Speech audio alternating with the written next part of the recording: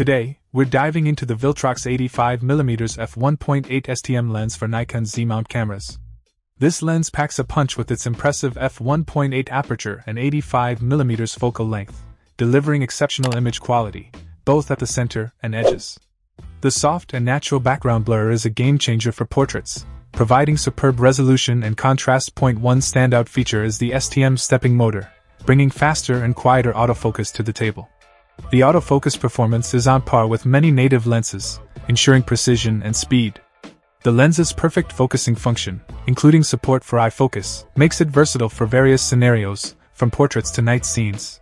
Equipped with precise metal electronic contacts, this lens supports EXIF information transmission and electronic automatic iris adjustment.